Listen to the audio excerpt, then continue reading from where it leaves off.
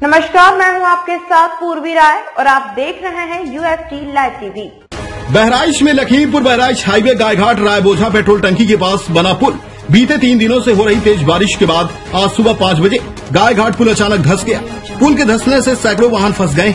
गनीमत रही कि जिस समय पुल धसा, उस समय आर पार किसी गाड़ी का आवागमन नहीं हुआ था, वरना बड़ी घटना घट सकती थी। लोगों ने पुल धसने की सूचना तत्काल पुलिस को दी।